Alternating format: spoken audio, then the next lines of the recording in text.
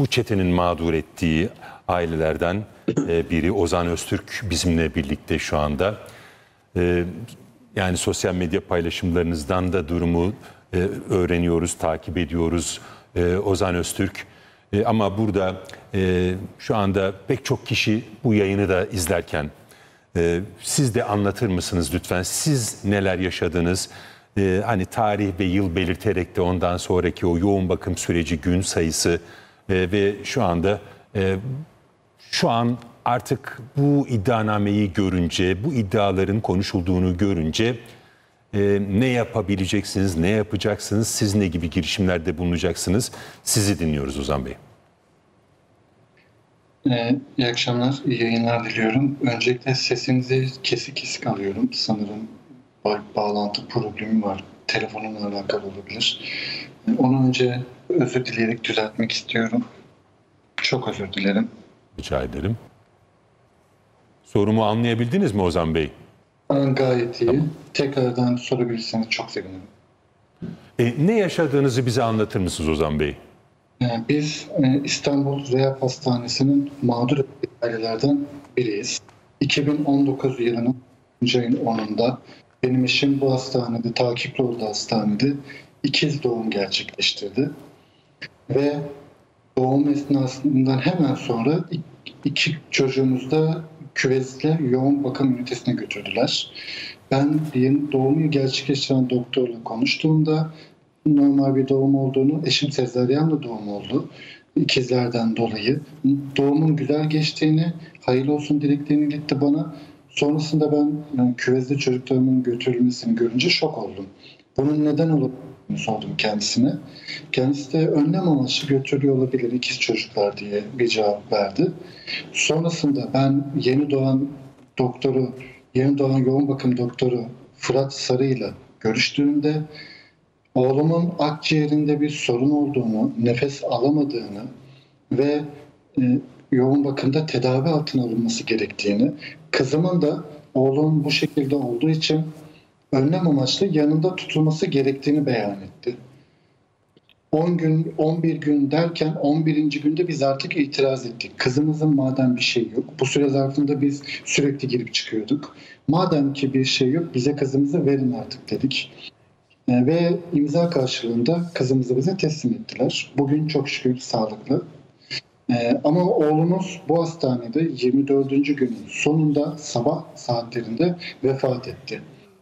Bu sürede biz bu doktor denen kişiyle Fırat Sarı'yla sürekli halindeydik. Zor bela, güç bela cevaplar alıyorduk. Sürekli kaçamak cevaplar veriyordu. Biz yoğun olduğunu ve buna bağlı olarak saygı duyarak fazla önemsemiyorduk. Fakat o dönemin yaşadıklarımızı ben daha yeni idrak edebiliyorum.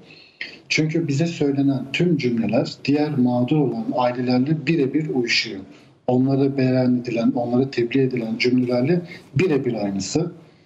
Ee, bu durumdan dolayı da ben artık %99 ihtimalle bu doktor tarafından oğlumu bilinçli olarak düşünüyorum. Çünkü benim oğlum bir, e, gayet hayat fonksiyonel, normal, güçlü ve tüm refleksleri yerinde olan bir çocuktu.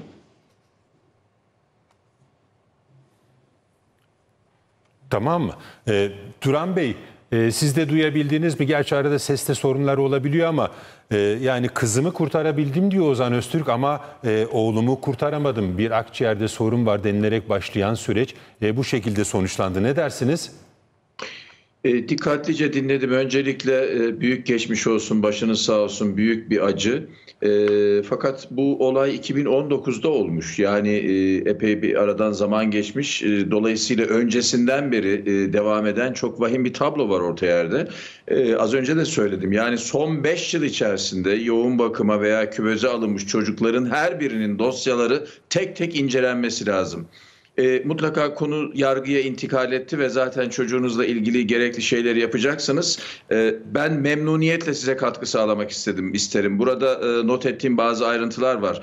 E, belli ki çift yumurta ikizi çocuklarınız e, ve bunlardan e, biri e, akciğer rahatsızlığı var denmiş. Diğeri de yanında kalsın denmiş. Bir, bir kere bu yanlış. Yani sağlam çocuğu yoğun bakıma almak, hiçbir problemi olmayan bir çocuğu yoğun bakıma almak büyük bir hata. Zaten onu orada bir enfeksiyon veya riskli ortama maruz bırakıyorsun. Öte yandan e, siz zaten çocuğu görmüşsünüz. İkisi de birbirine benziyor. Herhangi bir anormalliğinin olmadığını e, dosyalara bakıldığında eğer üzerinde büyük bir tahrifat yapmadılarsa geçmişe dönük dosyalar incelendiğinde birçok şey ortaya çıkar. Dolayısıyla burada e, söz konusu ciddi bir ihmalin olduğu, e, bir art niyetin olduğu açık. E, ne yazık ki o diğer vakalardan bir tanesi de bu e, sevgili Ozan Öztürk'ün yavrusunun başına gelmiş. Tekrar üzüntülerimi ifade ediyorum. Ama her bir e, dosya tek tek incelenmeli. Az önce siz de okudunuz. Yani onlar aslında uluslararası standartlarda incelenmesi gereken şeyler. Bir kere e, Gökmen Bey yani bir çocuğun e, neden küveze alınması gerektiği, neden yoğun bakıma alınması gerektiği standartları çok nettir. Dünyanın her yerinde böyledir. Bunların e, detaylı incelemesini yaparsınız, dokümente edersiniz. Çocuğun doğduğu zaman hayati bulguları şudur, kan tablosu bulur. Bundan dolayı onları belgelersiniz, dosyasına eklersiniz. Bundan dolayı ben bu çocuğu yoğun bakıma veya küveze aldım dersiniz. Standardı budur. Belli ki bunlar kafalarına göre yapmışlar. Turan Bey ve- şöyle bir şey olur mu? Ee, ikiz doğuyor sonuçta Ozan Öztürk'ün çocukları. Ee, oğlanda akciğerinde sorun var. E, kızı da önlem amaçlı yanında tutacağız. Ya bu nasıl Hayır. bir şey? Bö- Böyle bir şey olmaz. Onu söyledim zaten. Yani tedbir amaçlı alalım. Burada belli ki hazır bunu aldık. Öteki de nasıl elimizde böyle bir, bir çocuk daha var. Onu da alalım. Ondan da biraz e, para kazanalım. Kafalarında bu var belli ki. Ama hiçbir standart yok. Hiçbir e, yani etik değer söz konusu değil. Zaten dünya standartlarında az önce de ifade Bir de, ettim. bir Çocuk de Turan Bey bir şey diyeceğim. Ee, Ozan Öztürk dedi ki Dok Fuat Sarı sürekli kaçamak yanıtlar veriyordu. Ya ister yetişkin olsun ister bebek olsun bir yoğun bakım durumu söz konusu olduğunda e, ilgili görevliler düzenli bilgilendirme yapmakla sorumlu değiller mi? Bununla mükellef değiller mi Turan Bey? ama Gökmen Bey bakın bu ülkenin Sağlık Bakanı Türkiye'de yaşanan bu vahşet, bu skandalla ilgili Erdoğan'dan izin almadan çıkıp ekranların önünde millete bir, bir iki kelam etmedi bile.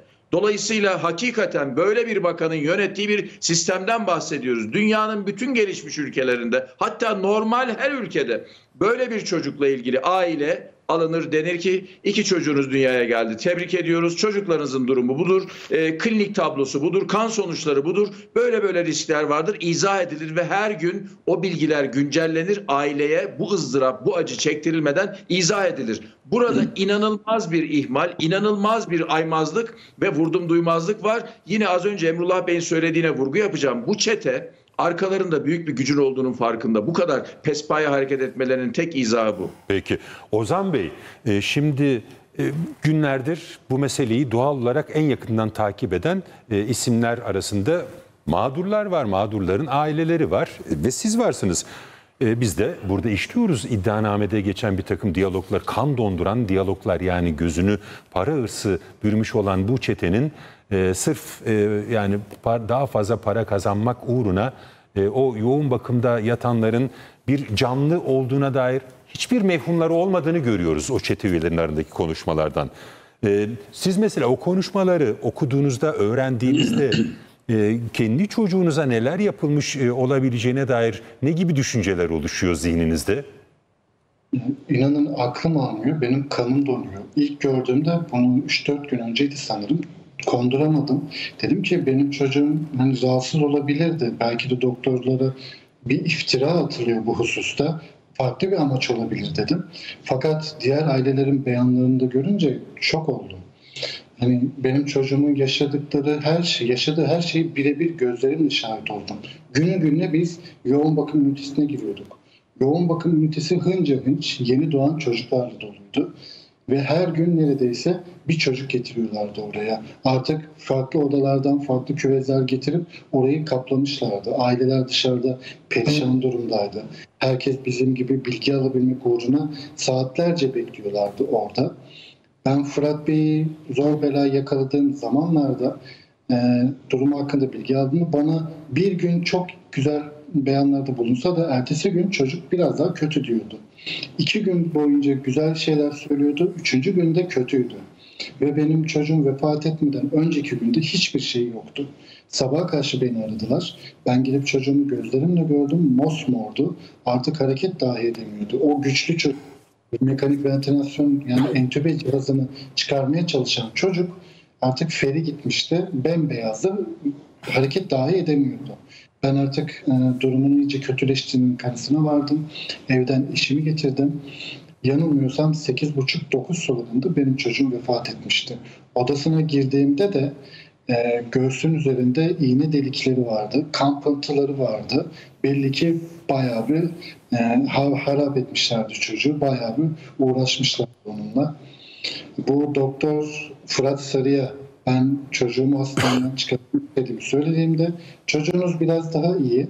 Muhtemelen bu hafta e, taburcu edeceğiz. Mekanik ventilasyondan ayrı tutmaya çalışıyoruz. Süreyi gittikçe uzatıyoruz. O da direniyor. Ama tamamen bağlı olması gerekiyor dedi.